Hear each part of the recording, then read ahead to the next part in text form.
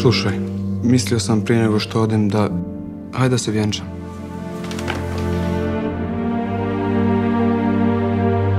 Molitvu jednu jedinu znam u ovom svijetu beskrušnom.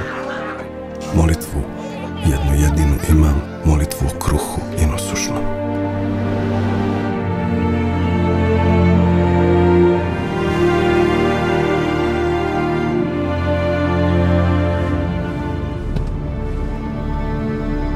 Vaš sin Saša je trebao nas ovdje posjetiti na Korčulu. Halo, Šta ste mu radili? Odlezi odavde! Jesi me čula?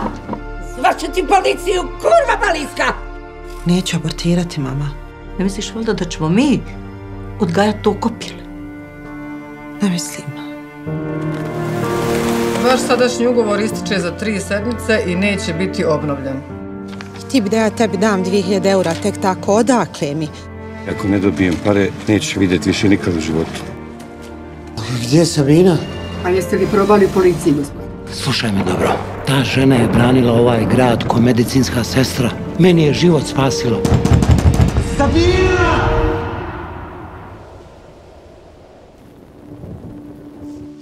Ovdje smo još uvijek samo steći gosti. I trebalo bi već jednom preći u krug svjetlosti. Kroz neka uska vrata trebalo bi se vratiti.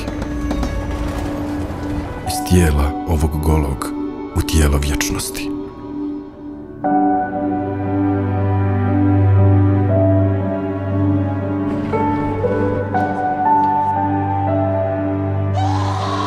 Ako su vrata iz riječi samo san. Ako su samo gatka bajna, ja ipak neću više da se s vrata vratim. Ja opet hoću tamo da snim tu slatku gatku. thank you